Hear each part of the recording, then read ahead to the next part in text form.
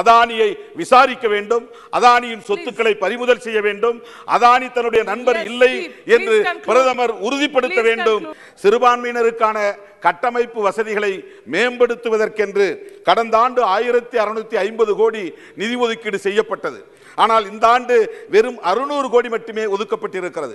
ஏறத்தாழ ஆயிரம் கோடியை இந்த ஆண்டு குறைத்திருப்பதன் மூலம் அவர்களுக்கான அடிப்படை வசதிகளை கூட செய்யக்கூடாது என்று சிறுபான்மை மக்களை குறிப்பாக முஸ்லிம்களை ஓரம் கட்டுகிற முயற்சியில் இந்த அரசு ஈடுபட்டு வருகிறது. மாண்புமிகு அவைத்தலைவருக்கு வணக்கம். இந்த அரசு ஏழை எளிய மக்களுக்கு எதிரான அரசு என்பதை மீண்டும் உறுதிப்படுத்தக்கூடிய வகையில் இந்த நிதியாண்டுக்கான நிதிநிலை அறிக்கை உள்ளது. இது விளிம்புநிலை மக்களுக்கு விரோதமான அரசு குறிப்பாக தலித் விரோத அரசு முஸ்லீம் விரோத அரசு கிறிஸ்தவ விரோத அரசு என்பதை நிதி ஒதுக்கீடு செய்வதிலிருந்தே அறிய முடிகிறது. எளிய மக்கள் உழைக்கிற மக்கள் அன்றாடம் வேலைவாய்ப்பை பெற வேண்டும் அவர்களுக்கு வேலைவாய்ப்பை உறுதி செய்ய வேண்டும் என்று உருவாக்கப்பட்ட திட்டம் மன்ரேகா திட்டம். அந்த திட்டத்திற்கு இந்த ஆண்டு நிதி ஆண்டு ஒதுக்கப்பட்டிருக்கிற நிதி மிகவும் குறைவாக இருக்கிறது. கடந்த ஆண்டு எண்பதாயிரம் கோடி ஒதுக்கப்பட்டு இந்த ஆண்டு அறுபதாயிரம் கோடி என்று குறைக்கப்பட்டிருக்கிறது. இதன் மூலம் வருடத்திற்கு பத்து நாட்கள் கூட ஒரு குடும்பத்திற்கு வேலை வாய்ப்பை அளிக்க முடியாது. ஆக எளிய மக்களை மேலும் மேலும் சுரண்டுவதிலே அவர்களை ஒடுக்குவதிலே இந்த அரசு குறியாக இருக்கிறது என்பதை இந்த மன்ரேகா திட்டத்திற்கு நிதியை குறைத்திருப்பதன் மூலம் உணர முடிகிறது. எனவே இந்த அரசு எளிய மக்களுக்கு விரோதமான அரசு என்று நான் குற்றம் சாட்ட விரும்புகிறேன்.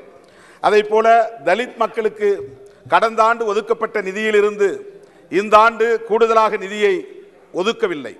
அலட்சியப்படுத்தி இருக்கிறது தலித்துகளின் நலன்களில் அக்கறை செலுத்தவில்லை. பொருட்படுத்தவில்லை என்பதை இந்த நிதிநிலை அறிக்கை உறுதிப்படுத்தி இருக்கிறது அதே போல சிறுபான்மையினர் நலத்துறைக்கு கடந்த ஆண்டு ஐயாயிரத்தி இருபதாயிரம் கோடி ஒது ஐயாயிரத்தி இருபது கோடி ஒதுக்கீடு செய்யப்பட்டது. ஆனால் இந்த ஆண்டு மூவாயிரத்தி தொண்ணூற்றி ஏழு கோடி மட்டுமே ஒதுக்கியுள்ளனர்.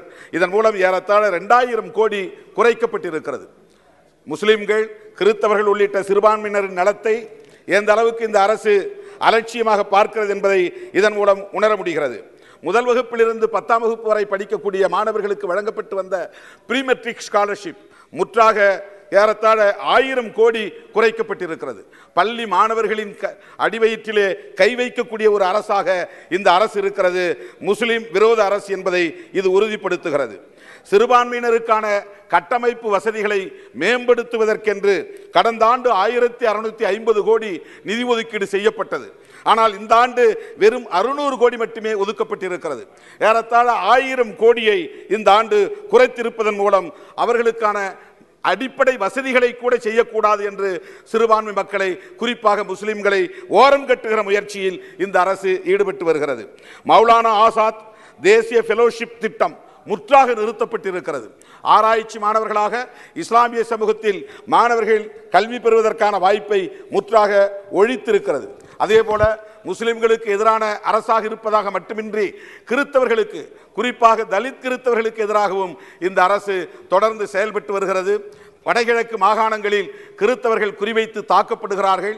எப்படி இஸ்லாமியர்களை கும்பல் கும்பலாக தாக்கி அவர்கள் மதமாற்றம் செய்கிறார்கள் என்று வன்முறை வெறியாட்டம் நடத்துகிறார்களோ அதை போல வடகிழக்கு மாகாணங்களிலும் கிறித்தவர்களுக்கு எதிராக நடத்தப்படுகிறது. இப்போது கேஜி பாலகிருஷ்ணன் அவர்களின் தலைமையில் ஒரு குழுவை நியமித்திருக்கிறது. இந்த குழு வேண்டுமென்றே காலம் தாழ்த்தும் நோக்கத்தோடு நியமிக்கப்பட்டிருப்பதாக தெரிய வருகிறது. குடியரசுத் தலைவர் ஆணை ஆயிரத்தி தொள்ளாயிரத்தி ஐம்பது இன்றைக்கு கிறித்தவம் மற்றும் முஸ்லீம் போன்ற மதம் மாறிய மக்களுக்கு இடஒதுக்கீடு தருவதற்கு தடையாக இருக்கிறது. எனவே அந்த பிரசிடென்ஷியல் ஆர்டர் நைன்டீன் ஃபிஃப்டி அதை நீக்கம் செய்ய வேண்டும்.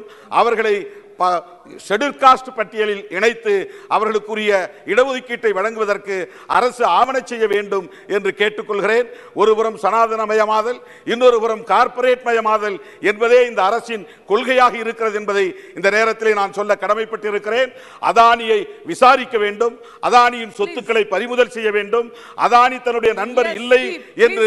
பிரதமர் உறுதிப்படுத்த வேண்டும். என்று கேட்டு வாய்ப்புக்கு. நன்றி கூறி முடிக்கிறேன் நன்றி வணக்கம் Honorable Simranjit Singh Manji.